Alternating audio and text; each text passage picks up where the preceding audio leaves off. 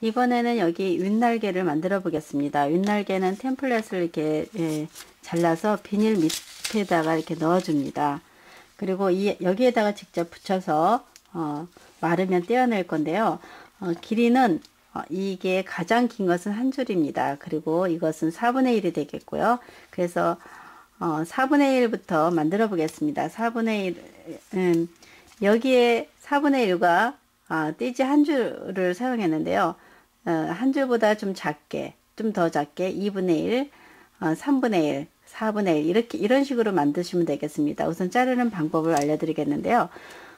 어, 음, 중심에 2분의 1짜리를 몇 개 만들어 주실 때 2분의 1은 이렇게 반을 잘라서 6개 정도 만듭니다. 그리고 이거보다 더 작은 거와 큰 것을 만드실 때는 띠지를 반에서 이렇게 조금 내려 반에서 좀 내려온 다음에 잘라 주시게 되면 길이가 이거는 2분의 1보다 작고 이거는 2분의 1보다 깁니다.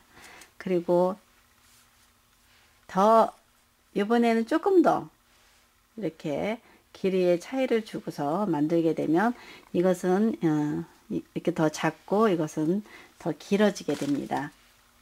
그리고 마지막에는 아주 긴 거, 그 다음에 어, 지금 처음에 하실 거는 4분의 1과 4분의 1이면 4분의 1 해서 이렇게 적게 되면은 이것은 4분의 1이 되겠고요. 이것은 그보다 더 긴 티지가 되겠습니다. 그리고 4분의 1보다 3분의 1로 이렇게 3분의 4 이렇게 보시게 되면 3분의 1이 됐습니다. 3분의 1은 그 사이에 이렇게 넣고 이것을 이쪽에 넣습니다. 그러면 이 길이가 전체적으로 이렇게 작은 것부터 긴 순서대로 이렇게 만들어집니다. 띠지를 그런 방법으로 자르시고 이것을 타원형으로 만드시는데 여기서 이렇게 구부려 줍니다. 이렇게. 그래서 어, 하나씩 붙여보게 되면요. 이것도 풀을 칠해서 날개 모양으로 이렇게 붙여줍니다. 어, 길이는 어, 이대로 사용하셔도 이 모양대로 하셔도 되는데 약간 크게 하셔도 되겠습니다. 이거보다 이게 너무 길다 싶으면 한 바퀴 풀러서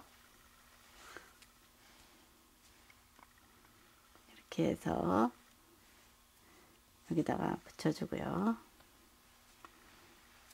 그리고 만들어 놓은 것을 붙이겠는데 이것도 크다 싶으면 한 바퀴 풀러서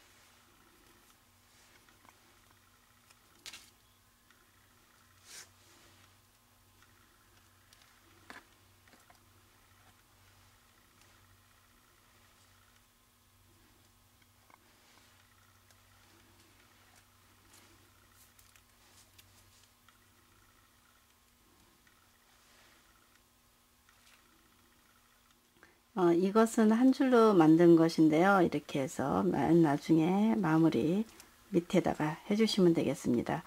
아, 그리고 예 모양이 이 정도면 되, 되겠습니다. 어, 템플릿에 있는 거 그대로 똑같이 안 하셔도 그냥 이렇게 이런 식으로 만들어서 어, 붙여주시는데 지금 예, 다 마르게 예, 윗날개가 이렇게 위에 날개가 마를 동안 이것을 가장자리에 있는 종이를 잘라내겠습니다. 이렇게 꼬리 부분은 이 밑에까지 다 잘라내 주시고요. 그리고 나머지는 요 선까지 이렇게 해서 쉽게 만드는 방법은 어, 이 타원형이나 눈물방울을 이렇게 종이에다 붙여서 만드시면 아주 쉽게 새를 만드실 수 있습니다. 그렇지 않으면 어, 이 윗날개 붙인 것처럼 이 템플릿을 밑에다 대고 그리고 그 위에서 어, 풀을 붙여가면서 작업을 하셔도 돼. 이렇게 해서 다 말랐으니까 이 부분에다가 풀을 칠하고 그리고 윗날개를 이렇게 붙여주시면 됩니다. 예, 아래쪽으로 조금 더 내려가야 되는데 풀이 그냥 여기 묻어버려서 그쪽 부분을 커버하고 예, 이렇게 해서 윗날개를 이렇게 붙이면 아, 붙여서 완성하시면 되겠습니다. 지금 풀이 덜 말라서 지금 이렇게 보이는데요. 지금 아, 예 그래서 날개 음, 새를 이렇게 예, 두 개를 만들었는데 아, 날개가 아, 이것보다는 지금 만드는 것더 자연스러운 것 같습니다. 이렇게 동그랗게 해서 아, 만들어 주시면 되겠습니다.